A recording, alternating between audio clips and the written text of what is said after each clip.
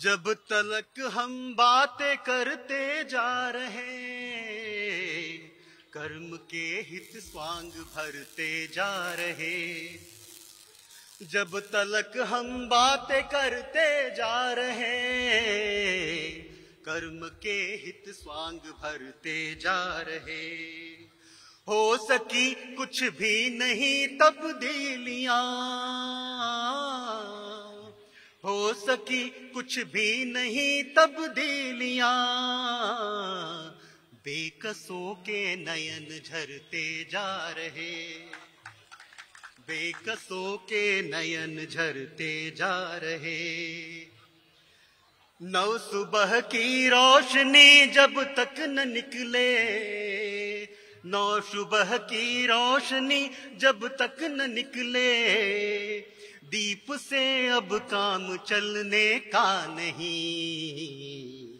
भाषणों से युग बदलने का नहीं। यह स्थायी था। भाषणों से युग बदलने का नहीं। व्याप्त अंतरदाह है नैराश्य का। व्याप्त अंतरदाह है नैराश्य का।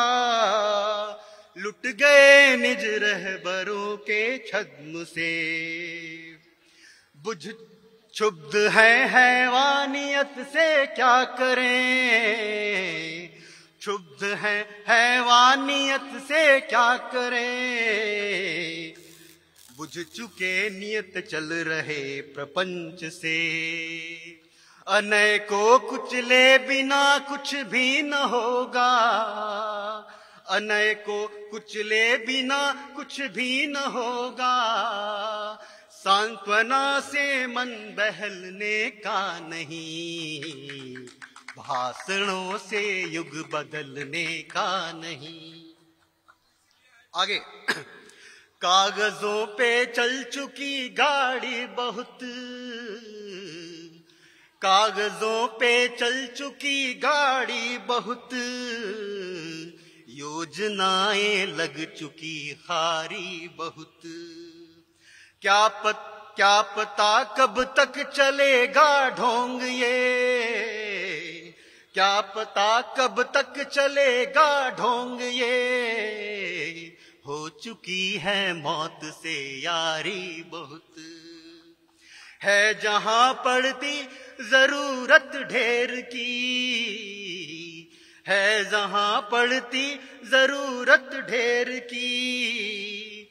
बूंद से जीवन संभलने का नहीं भाषणों से युग बदलने का नहीं। अंतिम सुनिएगा। नाच रंग नाटक तमाशे हो चुके। नाच रंग नाटक तमाशे हो चुके। वायदों के गर्त में सब सो चुके। मानवी इज़्ज़त लगी है दांव पर। ज़िंदगी के ख्वाब धूमिल हो चुके। ठोस धरती पर कदम रखे बिना कल्पना से हल निकलने का नहीं। भाषणों से युग बदलने का नहीं। मेरे पास वक्त है ना अभी? मैं सबसे अंतिम में आया हूँ। तो ऐसा है, नहीं, एक, मैं एक एक बनारसी अंदाज में सुनाऊँगा, फिर एक वापस अपने तरीके से सुनाऊँगा, ठीक है? अब मैं सुनाता हूँ आप लोगों को एक। ये प्रसंग है भगवान कृष्ण का और राधिका का। जब राधा जी नहाने जाती हैं, गोपियाँ भी होती हैं तो भगवान कृष्ण जो वस्त्र चुराते हैं तो एक नृत्य नाटिका है, वो मैंने बनारस में जब मैं पढ़ता था, बीएचयू में, तब मैंने लिखा था। तो ऐसे सुनेगा चुराए बसन मुरारी बैठे कदम्ब की डारी। चुराए बसन मुरारी बैठे कदम्ब की डारी। बाज बसुरिया सुर बतवारी। इत उत गोपियन जब बसन निहारी, यह काज तो सकहूं बस कृष्ण मुरारी। इत उत गोपियन जब बसन निहारी, यह काज तो सकहूं बस कृष्ण मुरारी। यह कही कही के सब ढूंढत सारी। कान्हा के नयन निश्चल उपवन। कान्हा के नयन निश्चल उपवन रसे है रास गोकुल मधुबन। लपट झपट कर तल पटकत नाचत नाच नचावत नटखट। कान्हा कहत सुसुकत मुसुकत तो हे ना दे वो मोहे तो ही पट। कान्हा कहत सुसुकत मुसुकत तोहे ना दे वो मोहे तो ही पट। यमुना के तट तीरे कदम के वट, श्याम बदरिया घट पन घट ये नृत्य नाटिका। अब मैं एक और सुना दूँ? चूँकि पेशे से पत्रकार हूँ तो कलम से बड़ा लगाव है तो इस तरीके से एक मैंने कविता लिखी थी। वो सुनाता हूँ आप लोगों को। अभिरिक्त भरना है खाका, चमन का। नया रूप गढ़ना है उजड़े वतन का। अभिरिक्त भरना है खाका, चमन का। नया रूप गढ़ना है उजड़े वतन का। पहाड़ों का दामन न छुए पड़ोसी सुलहा कर नगर दबाए सपन का। सजा ले पुजारी हृदय की उषा को धराय रवानी की बू मांगती है। कलम लेखकों से लहू मांगती है।